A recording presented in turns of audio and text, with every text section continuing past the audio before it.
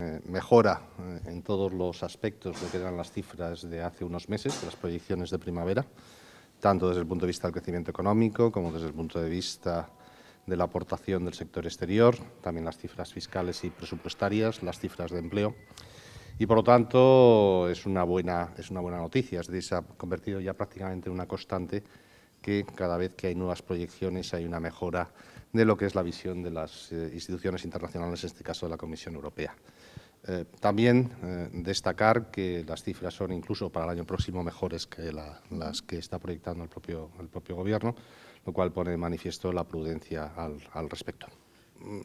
nosotros lo que, lo que yo les puedo decir es el crecimiento de la economía española, en todos los datos que tenemos disponibles, está por encima del,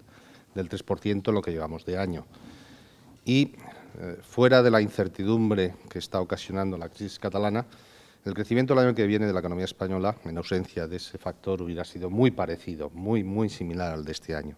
No había razones para haber proyectado una desaceleración importante.